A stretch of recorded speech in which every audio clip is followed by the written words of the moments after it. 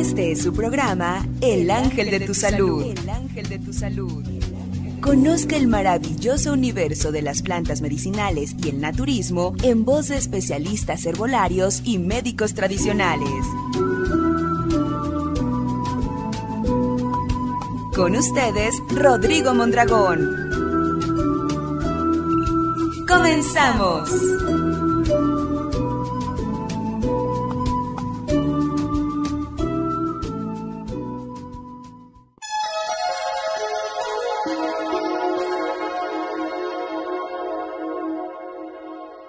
Hola, ¿qué tal amigos? Muy buenos días.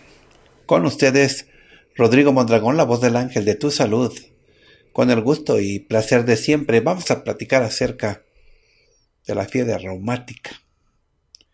Es una enfermedad inflamatoria, no supurativa y recurrente.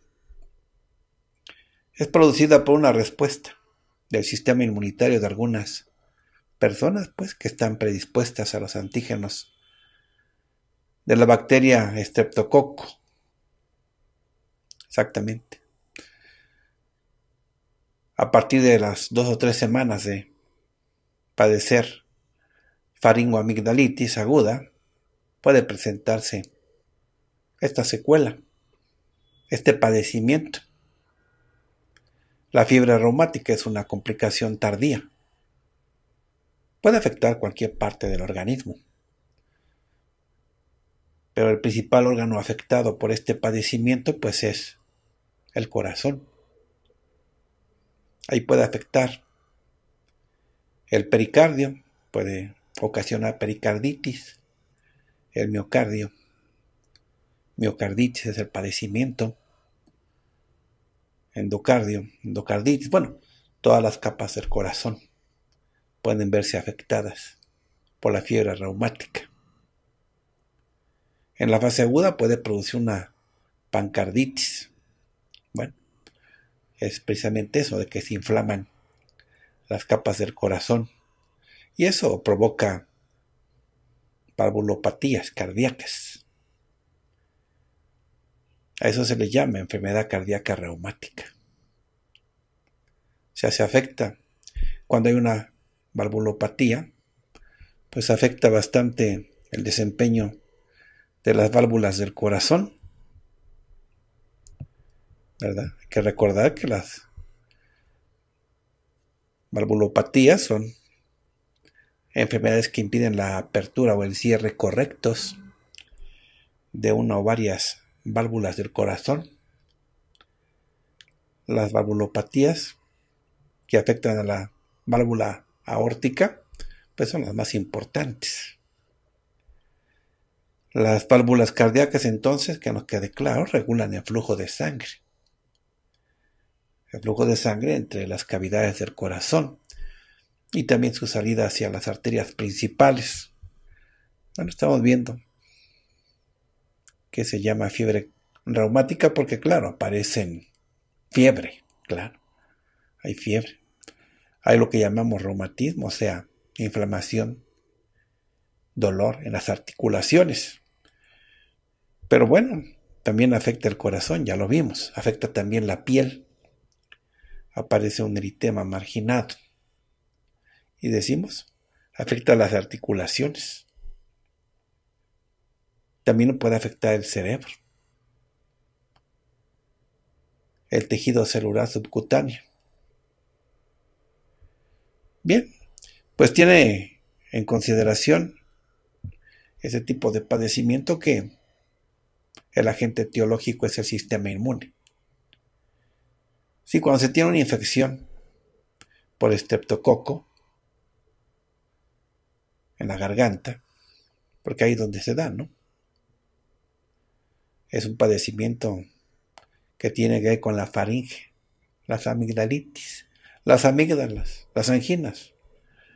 Cuando las vemos, abrimos la boca, las vemos contra el espejo, vemos el reflejo, pues sí, las anginas obstruyen casi el tránsito al interior, se cierran como dos zaguanes. Lo que sigue pues es la faringe, también se ve inflamada, enrojecida, Y es una bacteria, el estreptococo. Este tipo de bacteria pues es la que va a desencadenar cuando está generando sus anticuerpos, pues el mismo sistema inmune ataca, ¿no? Pero causa mucha inflamación. Ese es el estímulo antigénico de este padecimiento. Aquí hay que ver más bien, pues todas las afectaciones que va a provocar. La fiebre, decíamos, temperatura elevada, dolor en las articulaciones, hay mucho dolor en las articulaciones, llegan a hincharse las muñecas, no solo eso, ¿eh? también los codos, la rodilla, los tobillos, todas las articulaciones. Llegan a aparecer pequeñas protuberancias debajo de la piel de los codos o también de las rodillas. Se les llama nódulos. Un sarpullido rojo levemente elevado en el pecho. Sí, se distingue en el pecho. Pero también puede aparecer en la espalda o en el abdomen. ¿Hay dolor abdominal? O sea, pues disminuye el apetito. La persona se siente muy débil. Le falta aliento. Se siente cansada de manera extrema. Ah, también podemos distinguir sus articulaciones que están enrojecidas, calientes o inflamadas. Y pues como afecta el corazón tenemos la presencia de un soplo cardíaco. Duele el pecho, ¿no? Como si tuviéramos angina de pecho. Sí, así es. Tristemente este padecimiento, que es una enfermedad, podemos decirlo, inflamatoria. Y repasamos, ¿no? Que se puede presentar cuando la faringitis por estreptococos o también por la escarlatina cuando no se trata, cuando no se atiende debidamente. Entonces, pues sí, la faringitis por estreptococos y la escarlatina son causadas por una infección con la bacteria estreptococo.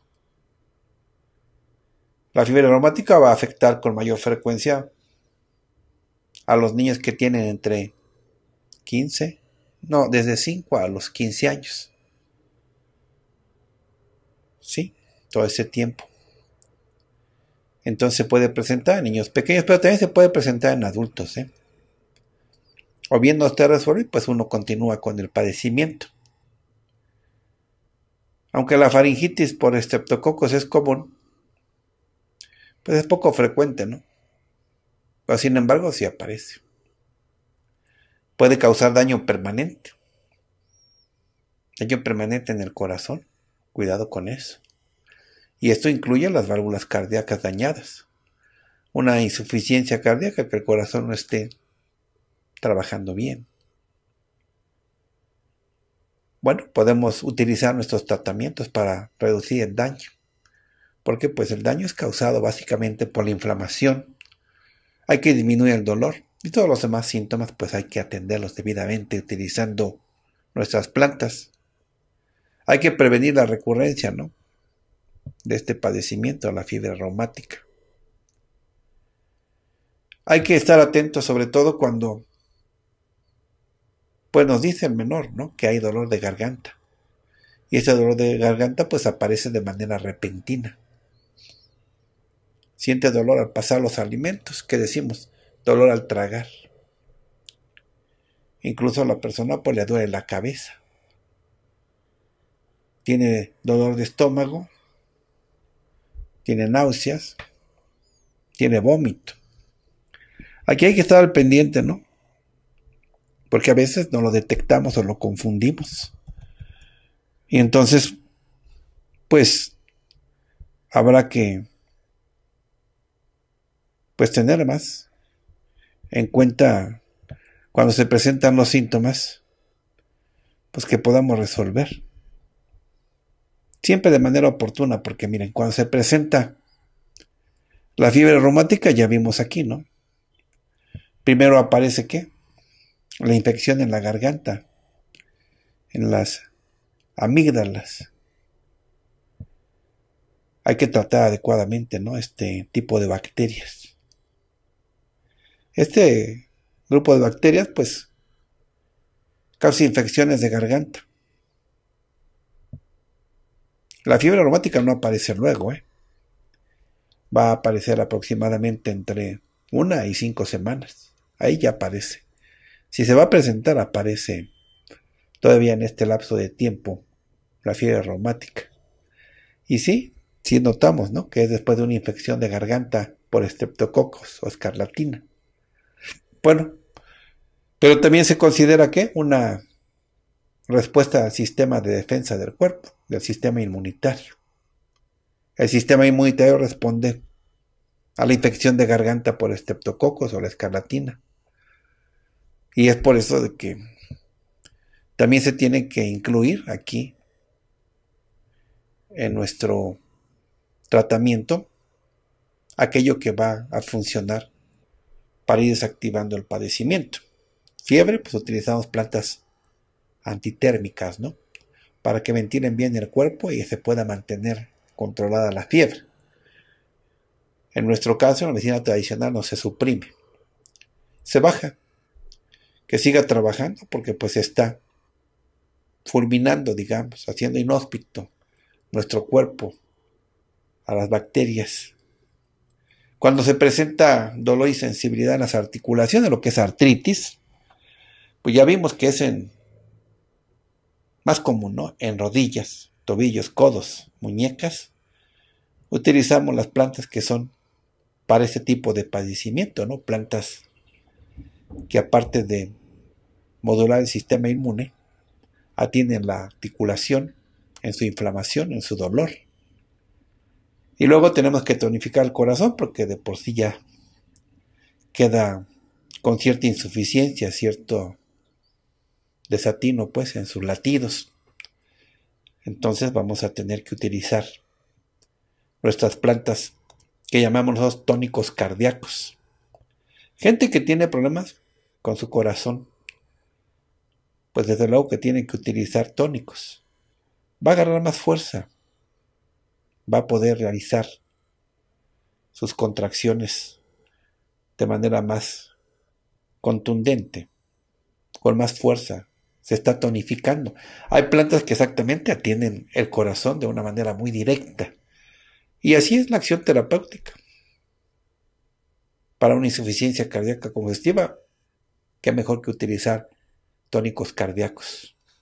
Y eso nos ayuda más porque aparte nos va a resolver el dolor de pecho, la dificultad para respirar y luego pues la taquicardia, ¿no? Esos latidos cardíacos rápidos. Ya atendiendo, tonificando el corazón, también estamos evitando que haya mucha fatiga, porque entonces la oxigenación ya mejora, se regula, la nutrición también llega adecuadamente porque el latido ya está corregido. También llega a ver cuando padecemos fiebre reumática movimientos bruscos incontrolables del cuerpo, lo que llamamos Corea. La persona pues tiene esos movimientos incontrolables, son muy bruscos.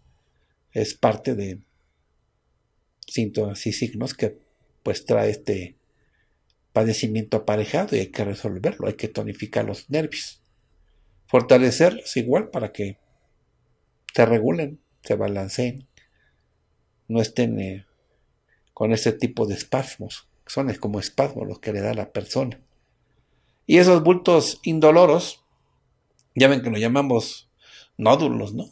Coloquialmente le llamamos chicha, los que aparecen debajo de la piel, cerca de las articulaciones no siempre se presenta, pero de vez en cuando se presenta este tipo de nódulos. Claro, hay infección. Entonces los nódulos pues aparecen porque van ayudando a combatir la infección. Aquí es muy importante no olvidar que es una bacteria. Entonces, al inicio del tratamiento tenemos que utilizar plantas antibacteriales. O sea, ¿qué quiere decir? Que van a eliminarla. No se nos puede pasar porque entonces la infección no la estamos controlando, no la estamos desactivando. No hay que olvidar entonces anotarlo en la estrategia para que posteriormente, cuando se elabore la fórmula en base a las acciones terapéuticas, podamos tener el orden adecuado. Entre las principales acciones que debemos de considerar, pues está también la antibacterial. Plantas que, por suerte, hay muchas que funcionan a la maravilla para ir controlando este tipo de infecciones hepatocócicas que son recurrentes. Tristemente son muy comunes en la infancia, en la adolescencia, pero uno también se ve afectado porque no ha resuelto, no ha atendido, no ha mostrado más resistencia. Entonces, fácilmente uno sucumbe también a este tipo de infecciones. Además, pues hay que ir viendo, sin ser sensacionalistas, qué más puede hacer si no nos atendemos, que se detiene, se frena o continúa el padecimiento causando desorden, destrozo en nuestro cuerpo, continúa. Por eso es bueno atenderse desde un principio porque de todas maneras lo tenemos que hacer. Nuestro cuerpo sí nos ayuda, pero no siempre tiene, digamos, la potencia, la resistencia, el recurso suficiente para contener. Nos tenemos que apoyar desde un principio.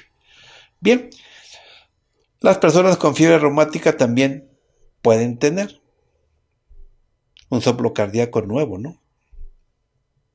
Agrandamiento del corazón. Ustedes escuchan constantemente de que las personas refieren que les crece el corazón.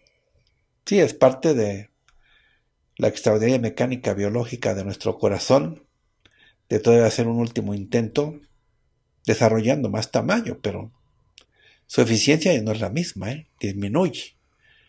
O sea, crece para poder tener sus acciones a salvo lo más que se pueda, ¿no? Pero llega un momento en que este es el último intento y por lo tanto no hay que agobiarlo más, hay que atenderlo.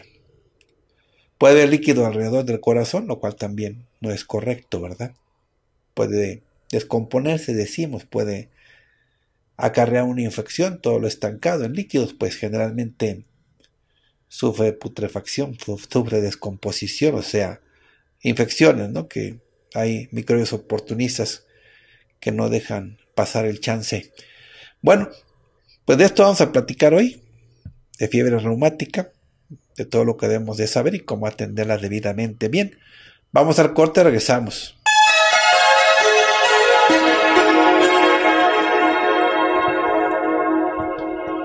Bien, ya platicamos acerca de padecimiento para poder identificarlo, poder tener todo el recurso, toda la formulación, una vez que ya se conoce bien, pues cómo se comporta, ¿no? Bajo qué circunstancias causa su, su daño, el padecimiento, si es que no lo atendemos. Estamos platicando entonces de la fiebre reumática. Tenemos ahora que ver los recursos, ¿no? Ya vimos el problema, si así lo queremos llamar, pero ahora vamos por la solución. Ya analizamos que necesitamos como ayuda. Y ya vimos algunas acciones muy importantes que tenemos que buscar en las plantas, porque así se le hace. Sencillamente, pues, vemos la enfermedad, signos, signos, su comportamiento, y pues sobre eso es que vamos buscando qué planta resuelve eso. Una planta que para este caso siempre ha dado muy buen resultado, pues es la canelilla. La canelilla es un árbol. Principalmente crece en áreas tropicales. Lo que utilizamos es la vaina con la semilla. Exactamente, pues así se propaga el árbol por una, una vaina como un ejote. Va cayendo, va deshidratándose. Ya cuando cae se deshidrató, pues el árbol es muy alto. Entonces recolecta cuando está bien maduro. Ahí en la vaina esa que les digo, la canelilla pues es una vaina. Ahí tiene las semillas y tiene una como resina. Ese tipo de resina tiene las cualidades curativas de la planta.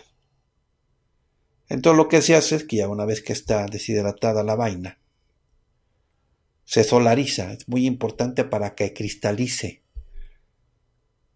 Sí, porque sale como una jalea, ¿no? Si nosotros abrimos la vaina esa de canelilla, pues es como una jalea, ¿no? Entonces tenemos que solarizar.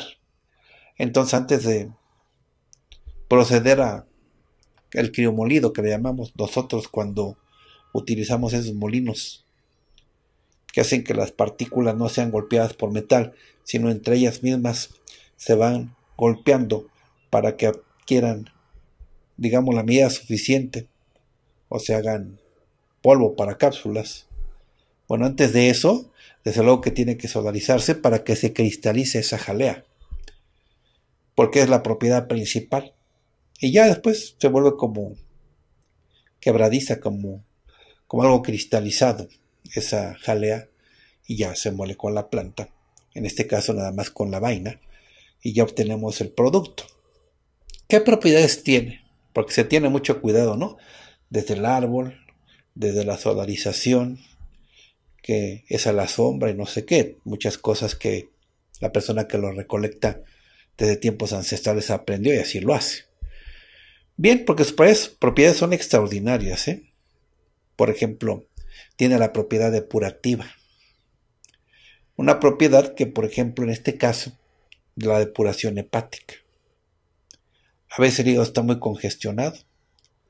Hace la depuración hepática para que lo descongestione, lo limpie y que otra vez listo para sus actividades rutinarias y también la sangre la depura. Claro, tiene que ver que el hígado ya se depuró para que la sangre sea eliminada de sus tóxicos, de sus venenos y quede limpiecita, ¿no? Y quede nutritiva. ¿Por qué? Porque esta planta es nutritiva, desde luego. Entonces es depurativa. También se utiliza porque posee la actividad febrífuga, ¿verdad? Nos va a controlar la temperatura para que no se eleve demasiado no vaya a causar un disturbio. Hace que el cuerpo ventile, los poros se abran. Porque también es importante que los poros se abran. muchas personas ya ni sudan. Y el sudor es muy importante porque a través del sudor, que es un órgano de excreción, la piel, salen muchas toxinas. Tenemos una vida sedentaria, entonces a veces ya ni sudamos nada. Pero es una mecánica de nuestro cuerpo de eliminar toxinas. Entonces lo que hace esta planta, abrir los poros para que se ventile el cuerpo, no esté la fiebre tan elevada y también se active la acción de limpieza que nuestro cuerpo hace, coadyuva con los órganos para que extraiga todo aquello que pues está intoxicando, está envenenando. Y es lo que hacemos, incluso bacterias, ¿no? Tiene esa cualidad. Hay muchos estudios que ya avalaron que esta planta pues elimina, fulmina la bacteria que queremos, desde luego que ya no esté con nosotros, el estreptococo, ya que salga, ¿no? Que no esté ahí. Entonces, pues esta planta es la que se va a encargar de eliminar esa bacteria. Y de otras más, ¿eh? porque tiene más propiedades. También puede eliminar otras más, pero esta es la que nos estamos ahorita, como quien dice, centrando, focalizando para que no esté generando ese tipo de alteraciones en el organismo. Ya ves que si afecta el corazón, la piel, las articulaciones, pues sí, es un padecimiento doloroso. Es angustiante porque se nos va la respiración, nos falta oxígeno. Pero bueno, hay más propiedades, ¿eh? son muchas las que tiene esta planta, es estupenda. Vamos a pedirle al maestro Rubén que nos amplíe la información en base a su experiencia de cómo podemos utilizar esta planta y para qué más. Adelante, maestro, lo escuchamos, bienvenido. Gracias por la invitación y vamos a comenzar con la canelilla. Las vainas de la canelilla se emplean en medicina tradicional para desalojar los parásitos intestinales.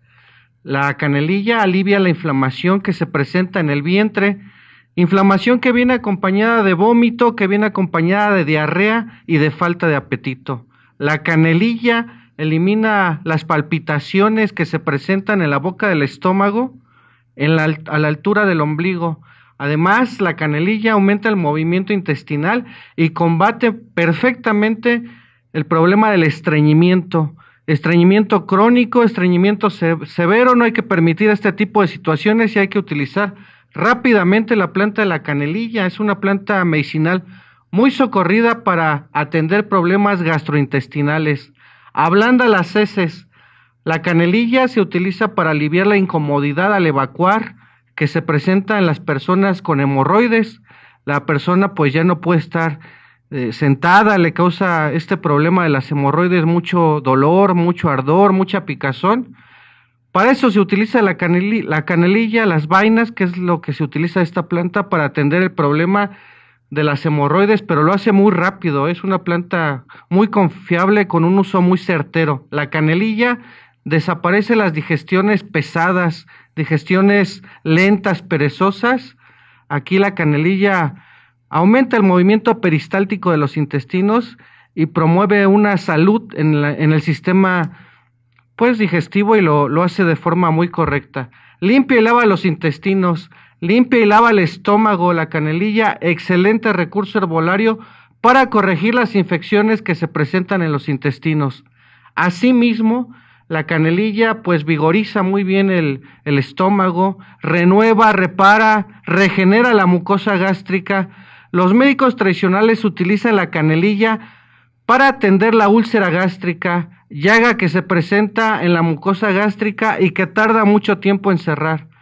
La canelilla logra prontamente la cicatrización de la úlcera gástrica. La canelilla protege los intestinos, por otro lado, la canelilla, las vainas de la canelilla atienden los nervios, calman los nervios, regulan el sueño aquella persona que le cuesta mucho trabajo dormir, descansar, conciliar el sueño, dos, tres de la mañana no puede dormir, la gente pues se encuentra pensando en sus problemas, en sus dificultades familiares, dificultades económicas. Aquí la canelilla les permite conciliar el sueño. La canelilla, maravillosa ayuda herbolaria para combatir el insomnio. Por otra parte, la canelilla se ha aprovechado desde tiempos ancestrales para atender fiebres fuertes. Fiebres fuertes que vienen acompañadas de dolor de cabeza, pesadez de nuca, dolor en la espalda, como si se tuviera el cuerpo cortado. Aquí hay que aprovechar la canelilla, ya que regula la temperatura corporal y atiende toda clase de fiebres. Limpia y lava los riñones, excelente para aquella persona que presenta el dolor en la espalda baja, aquella persona que orina amarillento, turbio, espumoso, muy rebotado. Hay que hacer uso de la canelilla para fortalecer los riñones. Además también fortalece los pulmones, ayuda a sacar las flemas pegadas, adheridas, envejecidas. Lo hace de manera muy correcta, es un bálsamo para los pulmones. Excelente la planta de la canelilla que además tiene muchas vitaminas, proteínas, minerales, es una planta que nos brinda mucha nutrición y se le indica a la persona que tiene cansancio, que tiene fatiga extrema, aquella persona que presenta dificultad al respirar, el paciente refiere que siente que se ahoga, siente que le falta el aire y cuando también refieren que el corazón sienten que se le sale del pecho, sienten que se acelera, se desacelera el corazón, no hay que permitir este tipo de situaciones y hay que utilizar de manera rápida la canelilla. Adelante, maestro. Vamos al corte, regresamos.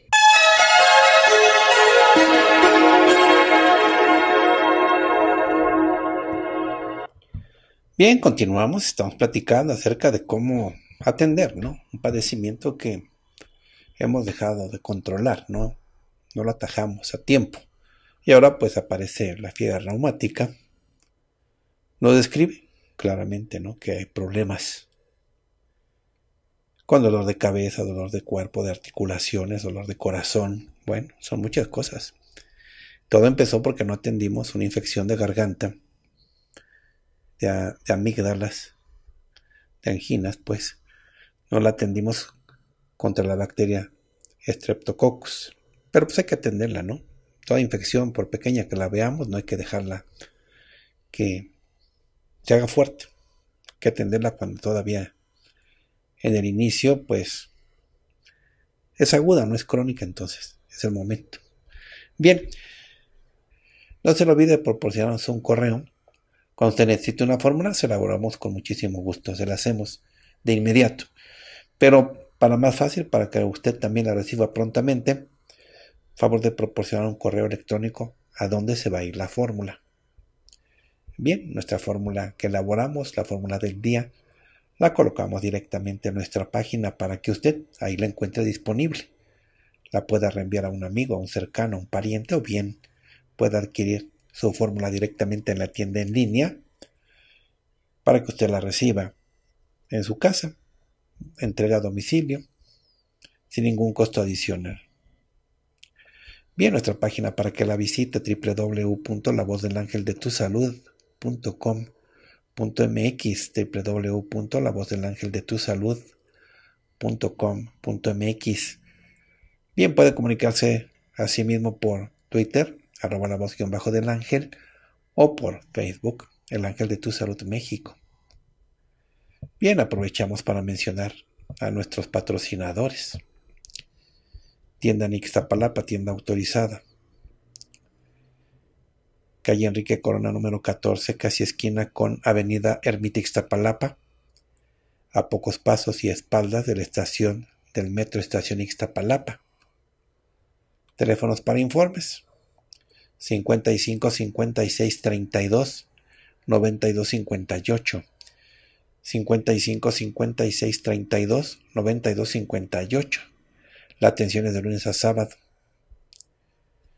Centro de Asesoría Herbolaria en Pachuca Hidalgo. La Bella Airosa, Pachuca Hidalgo. Bien, la dirección anotamos. Avenida Boulevard Rojo Gómez. Calle Boulevard Rojo Gómez, número 111, Colonia de Cuesco primer piso y a cuadra y media de la terminal de autobuses, frente a los primeros semáforos entre la gasolinera. Número telefónico anotamos 771 719 9790 771 719 9790 en la Ciudad de México en el centro histórico de la Ciudad de México, calle 5 de febrero, número 48, casi esquina con mesones y a una cuadra de la farmacia París. El teléfono lo anotamos para informes 55 54 44 16 60. 55 54 44 16 60. En el del Estado de México, tienda autorizada. Avenida Adolfo López Mateos, 379, primer piso, local 3, Colonia Evolución, a cuadra y media de la glorieta del Coyote con dirección al Mexibus, junto a la lavandería Aquamatic. Anotamos el teléfono 55 17 10 54 75 55 17 10, 54, 75. La atención es de lunes a sábado de 9 a 7. En Zumpango. Zumpango, Estado de México.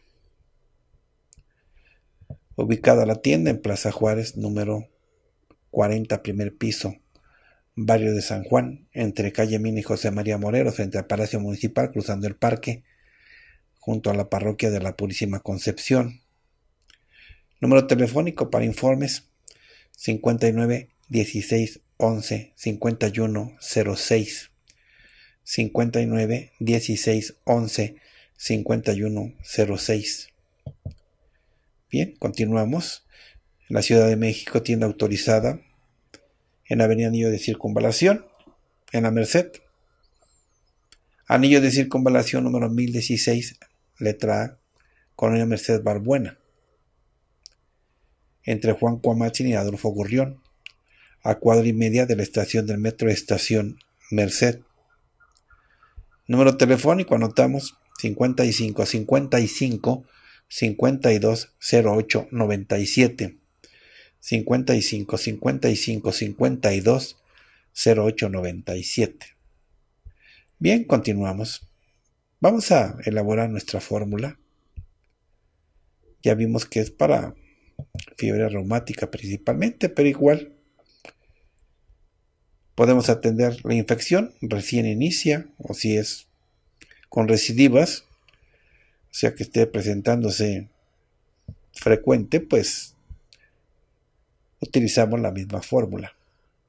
Lo que abarca lo siguiente, fiebre reumática, ¿no? O sea, fiebre, dolor en las articulaciones o hinchazón en las muñecas, en los codos, las rodillas, los tobillos. Aparecen pequeñas protuberancias debajo de la piel, debajo de la piel de los codos o las rodillas. Se les denomina nódulos. Aparece un sarpullido rojo levemente elevado en el pecho, la espalda, el abdomen. Hay dolor abdominal o disminución del apetito. La persona se siente muy débil, le falta aliento. Hay cansancio extremo. Las articulaciones se visualizan rojas, al tacto calientes, inflamadas. Hay soplo cardíaco, fatiga, dolor en el pecho. Es esta la fórmula que va a ser muy propia para utilizarla. Anotamos. Utilizamos canelilla, diente de león, magnolia de huerto, alpiste canadiense, pata de cabra, acitrón de uña, nuevamente, canelilla, diente de león, magnolia de huerto, alpiste canadiense, pata de cabra, acitrón de uña. Mezclamos las plantas juntas por partes iguales ya mezcladas una cucharada sopera para un litro de agua, 10 minutos de hervor. Pues hay que tomarla como agua de uso. Bien, suplementos. La fórmula es la siguiente. Acaí, guayacol y eucaliptol. También la de California con citrulina. Prolina con coral. Nuevamente. Acaí, guayacol y eucaliptol también la de California con citrulina, prolina con coral. Bien, de estas cápsulas una de cada una y las tomamos antes de cada alimento. Bien, el elixir del día, ¿no? El suplemento adicional que va a coadyuvar con la fórmula, pero también va a ser utilizada para elevar las defensas y también para favorecer las vías respiratorias, sistema cardiovascular. Son tónicos los elixires, son muy importantes, son muy preventivos. Bueno, el de hoy es el que contiene este elixir cuatecomate y própolis. Cuatecomate y própolis. La clave es 1823. No se le olvide 1823. Vamos a tomar un vasito dosificador en la mañana, levantarnos. Y un vasito dosificador antes de acostarnos, dos veces al día. A levantarnos y antes de acostarnos, un vasito dosificador. Y diariamente. Ya tenemos la fórmula completa. Vamos al corte y regresamos.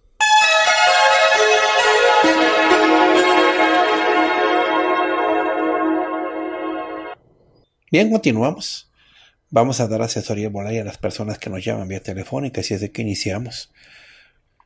Buenos días, ¿con quién hablo? Buenos días, este doctor Rodrigo. Buenos días. con la señora María Martínez Martínez.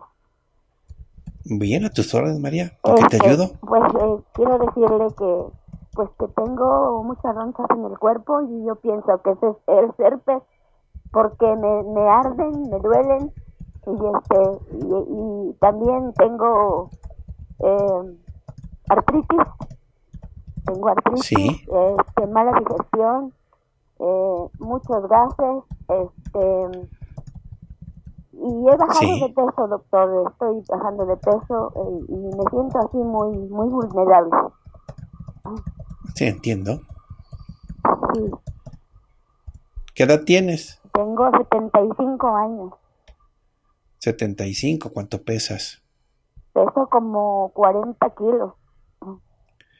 Sí, estás baja de peso, ¿no? Sí, sí, bastante. Bueno. ¿Tu altura? ¿Tu estatura? como 1.43. También he bajado de estatura. También. Mi digestión es mala. Bueno, pues entonces hay que resolver, ¿no? En la boca a veces se me... ¿Mala en qué sentido? ¿Tienes dolor, cólico, diarrea, estreñimiento? ¿Qué tienes? Este, no, nada de eso, pero tengo mucho ardor, tengo mucha comezón. Ardor. Y luego ah, sí. así como que, como que en la cara, este, siento así como, como, como unos calambres. Sí. Bueno, vamos a resolverlo. Doctor, gracias. Vamos anotando las plantas que se van a ocupar. Utilizamos té a musgo. Con ese empezamos, con el té a musgo. Muy importante. Bueno, olmo montano, vamos agregando a las demás, ¿verdad? Utilizamos mirística, aquí tenemos que utilizarla. Germandrina, chuca, llantén de arena. Bueno, mencionamos otra vez té a musgo, olmo montano, mirística, germandrina, chuca, llantén de arena. Mezclamos las plantas juntas por partes iguales, ya mezcladas, una cucharada sopera para un litro de agua, 10 minutos de hervor. Se toma antes de cada alimento. Ahora suplementos. Aceites de linaza, naranja y omega 3. Viene todo junto. Aceites de linaza, naranja y omega 3. Luego clorofila natural. Ginseng del sur. Flor cónica. Menciono otra vez. Aceites de linaza, naranja y omega 3. Esos vienen juntos. Clorofila natural. Ginseng del sur. Flor cónica. Bueno, pues una, una de cada una de esas cápsulas se toman igual antes de cada alimento. Me dio gusto atenderte. Continuamos atiendo a la siguiente persona. Buenos días, ¿con quién hablo? Ah, mire, doctor, decía la muchacha que, que mi problema es que tengo unos seis meses para acá, que estoy baja. Ajá, No pero de- dime quién habla. Ah, Margarita. Ahora sí, Margarita, adelante, te escucho. Ah, mire, le digo que tengo unos seis meses que, estoy bajando, no de peso, doctor, como de talla, de músculo, porque la, la ropa Sí. me queda muy floja, la mando a arreglar, hasta los zapatos, la ro- los zapatos me quedan flojos. Entonces fui al médico, Sí. me dijo que, que era problema hormonal, que no estoy aprovechando los nutrientes. Sí, Ah, entonces más? se me cae mucho el pelo, soy hipertensa. Este, tengo var- varices, tienes que las tengo así esas arañitas. sí, Y tengo un hongo en ¿Qué una más? uña del dedo gordo derecho. Hace mucho batallando con él y no me lo puedo quitar. sí. ¿Qué más? Es todo, doctor. Es el problema más fuerte ¿Qué de, de- de la baja de peso porque me preocupa. Sí, desde luego lo atendemos. ¿Qué edad tienes? Mande, ¿Cuántos años tienes? 65.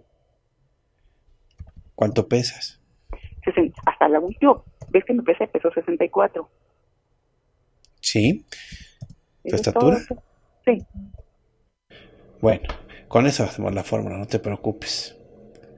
Entonces vamos a resolver. Utilizamos. Empezamos con fenogreco. Sería la primera planta. Fenogreco. Ahora continuamos anotando. Lúpulo.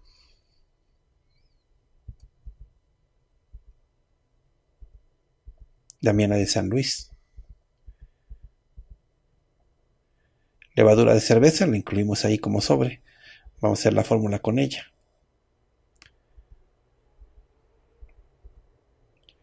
Magnolia japonesa también la agregamos.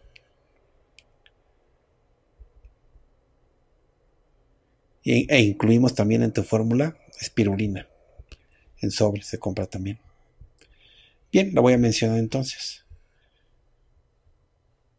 Utilizamos fenogreco, lúpulo, damiana de San Luis, levadura de cerveza, magnolia japonesa, espirulina. Mezclamos todo junto por partes iguales, ya mezclado. Una cucharada sopera para un litro de agua, 10 minutos de hervor. Se toma como agua de uso. Ahora vamos con suplementos. Utilizamos aceite de nopal, hierba ámbar, glutamina con coral, rosa mosqueta, menciono otra vez, aceite de nopal, hierba de ámbar, glutamina con coral, rosa mosqueta. Una de cada una de estas cápsulas se toman antes de cada alimento. Me dio gusto atenderte. Atiendo a la siguiente persona. Buenos días, ¿con quién hablo? Buenos días, con María Isabel Sánchez Buenos días. Vázquez. María Isabel Sánchez Vázquez. Adelante, te escucho. Sí, señor, sí, doctor. Adelante, te escucho. Dime, ¿qué te sucede? Este, me, me duele mi Sí. cabeza. Me duele mi El cabeza. dolor de cabeza. El dolor de Sí. cabeza. Me duele. ¿Qué más? eh, este, eh, tengo mucho el estérico regado. Me, me duele el, el- tengo el estérico. El Sí, regado. entiendo. Bolo Me duelen, me duelen mucho los pies. También, sí. Este, soy muy enojona. Sí, tengo mucho tengo mucho reflujo y, y, y los pies Sí. este, la boca se me pone seca seca seca sí. este ¿Qué más? eh, lo- los tendones los tendones los tengo tiesos tiesos se me se me encordan Sí, eh, me duele mucho mi mi, mi, mi mi cuello atrás mi nuca sí. me La duele nuca, sí. sí ¿Qué más? Soy hipertensa, doctor. Sí, lo notamos. Hipertensa, ¿qué otra cosa? Y este, ya no puedo ver bien y se me olvidan mucho las cosas, doctor. Sí. ¿Qué edad tienes? Eh, Tengo 75 años, Sí. ¿Cuánto pesas? cuare- 49 kilos, Sí. ¿Y tu estatura? uno, 1,40. 1.40. Bueno, hagamos Sí, la fórmula. Claro, con gusto. Bueno, vamos entonces anotando. Vamos a utilizar crisantelo, raíz de lima dulce, palo de víbora, catarinilla, ginseng indio, magnolia silvestre. Exactamente. Así es como vamos a utilizarlo. Crisantelo, raíz de lima dulce, palo de víbora, catarinilla, ginseng indio, magnolia silvestre. Mezclamos las plantas juntas por partes iguales ya mezcladas. Una cucharada sopera para un litro de agua, 10 minutos de hervor. Se toma antes de cada alimento.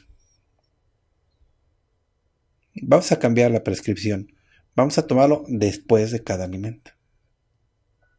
¿Sí? Corregimos, ¿eh? Después de cada alimento. Cápsulas. Anotamos entonces. Espirulina. Aceite de olivo. Golden Seal. Trébol rojo. Menciono otra vez. Espirulina. Aceite de olivo en cápsula. Golden Seal se escribe Golden Seal. Trébol rojo. Bien, de estas cápsulas, una de cada una y se toman antes de cada alimento. Me dio gusto atenderte. Bien, ya nos vamos. Gracias por su atención, gracias por su compañía. Maestro Rubén, muchas gracias por su participación. Gracias, profesor. Me despido de una frase de Germán Gis.